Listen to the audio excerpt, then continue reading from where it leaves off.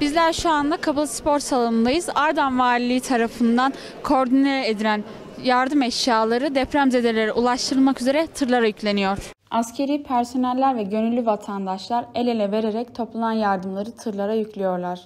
Bir yandan da 7'den 70'e herkes koli koli yardım malzemelerini toplama merkezine getiriyorlar. Aynı zamanda köy muhtarları da köylerde topladığı yardım kolilerini getirmeye devam ediyor.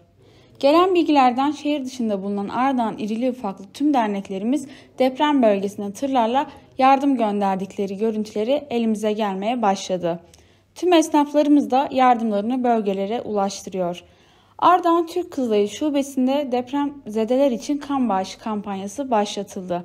Ardahan'daki duyarlı vatandaşlar sabahın ilk saatlerinden itibaren kan bağışı merkezine gelerek kan bağışında bulundular. Şu an uzak bir bölgedeyiz ve elimizden hiçbir şey gelmiyor. Sadece işte kolilerle, maddiyat olarak ve kan bağışı yapmaktan başka da bir çaremiz yok.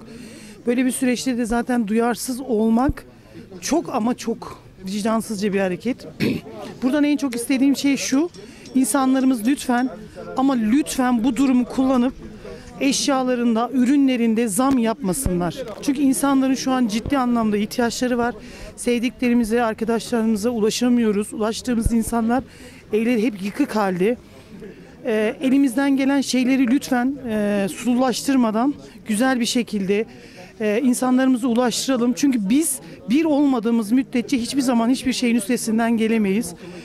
İnşallah dilerim bir daha böyle bir şey olmaz. Daha sağlam, daha güzel müteahhitlerle daha iyi binaların yıkılacağı yani üst üste konulacağı günlerimiz olur. Herkese hepimize geçmiş olsun. Soğuktan dolayı oradaki arkadaşlarımıza bugün e, başlarda bulunduk.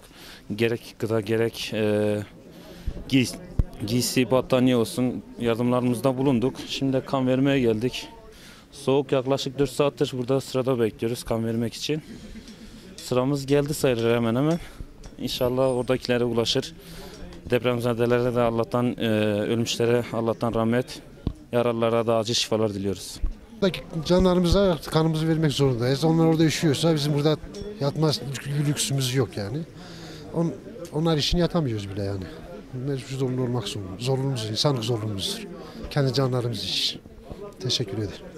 Ne mutlu bize ki bir garibana, bir arkadaşımıza, yoldaşımıza kan vermek bizim için bir gururdur. İnşallah yetişir ulaşacağı yerlere.